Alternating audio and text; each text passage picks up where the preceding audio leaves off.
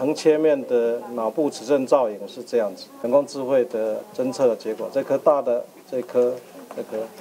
那我们来看看一颗非常小，这一颗非常小的，常见的当是肺癌，哦，因为它我刚刚讲是因为它的生理跟解剖结构的关系，所以一下子就可以跑到脑部去。透过脑移转流 AI 辅助诊断系统，精准辨识出病灶，还可以计算数量、体积等重要资讯，大幅节省医师阅片时间，准确度达百分之九十六。目前已在北荣门诊上线运用，而台北医学大学研发以电脑断层影像为基础的 AI 系统，可用来侦测肺部疾病，十秒就能产生具国际标准的肺癌筛检评估报告。电脑断层筛检有一个很大的特色，就是因为它切得太细了。它可能一次会产生三五百张的影像，让这个病理科医师呢，在第一次做病理诊断的时候，他就可以非常清楚的告诉你说病灶在哪里。这是全世界目前唯一的一个能够将心脏的脂肪跟心脏的钙化还有主动脉钙化自动分割出来。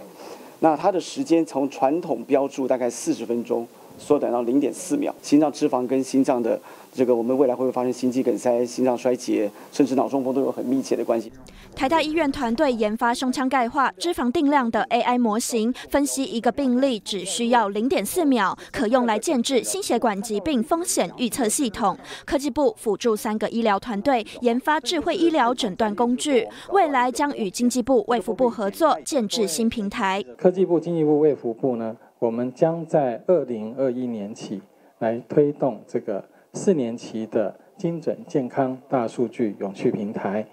那这个平台上面就会把我们现有的这些医疗影像，还会整合上基因、还有病理、病例这些资料，来形成一个复合式的巨量资料。科技部表示，台湾发展精准医疗具有全球优势，数位化健保资料、医界人才与资通讯强项结合，期待新平台的建制，不只把关民众健康，也能引领创新产业模式，协助台湾生医产业发展。新唐人亚太电视林家伟、张元婷，台湾台北采访报道。